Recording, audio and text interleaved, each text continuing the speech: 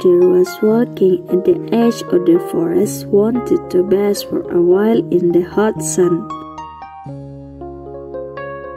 In his way, he met with the duck and her ducklings. Hi, Mouse deer. Where are you going? I'm going to bask for a while. Oh, have a nice day. Thanks, you too. Then the mouse deer left the duck and intended to go to the river.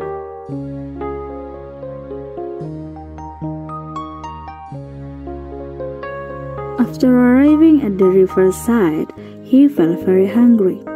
The mouse deer imagined how delicious it would be if he could eat his favorite food, cucumber.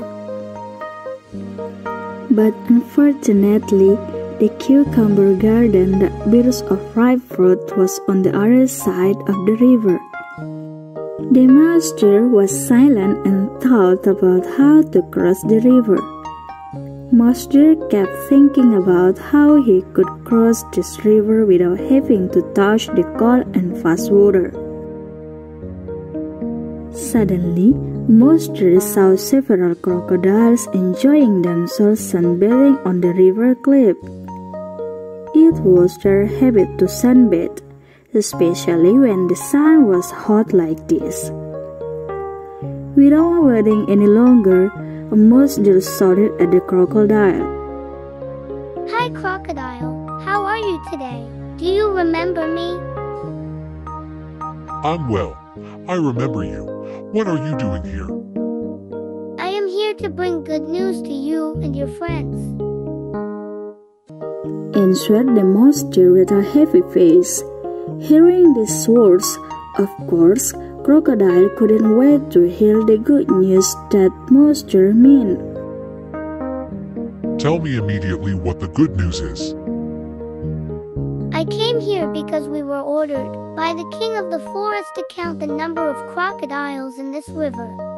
Because the king of the forest wants to give gifts to you and your friends. Okay, Mouse deer. What should we do next? All of you line up from the cliff over here up to the cliff over there. Immediately, the crocodiles did it well without arguing. They lit up neatly according to Mouse deer's orders. Well, Mouse deer, let's count us all now. Okay. The mouse deer then jumped onto the body of the first crocodile on the river bank.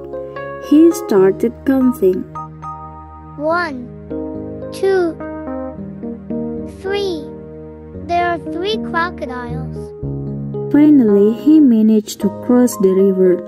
After arriving at the cliff across the river, Kancil jumped happily and said, Hey, crocodiles! Do you know that I don't actually bring good news from the king of the forest? In fact, have tricked you all into crossing this great river, and I have to go. Ha ha ha ha ha. Seeing Mouse deer laughing while saying this, the crocodiles felt angry and embarrassed because they had been tricked by Mouse deer. You naughty and cunning mouse Deer, watch out for you. If I meet you again, I will eat you. He tried and ran heavily, leaving the crocodiles to go to the ripe cucumber garden. He eliminated his hunger in the cucumber garden.